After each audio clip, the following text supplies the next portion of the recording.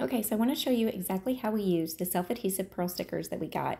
Now, these can be for your hair, face, makeup, eyes, nails, crafts, assorted projects. As you can tell here, they were added to a white wooden hanger, and it has the bride-to-be's name on it, and then it also has the date of the wedding. Now, this is going to actually hold her dress while she is getting her hair and makeup done in her bridal pajamas and robe, and then we will be able to have this dress with the pictures. It'll Looks absolutely fabulous, was super simple and easy to use. Just go ahead and place the pearls where you want them, push them into place, and voila.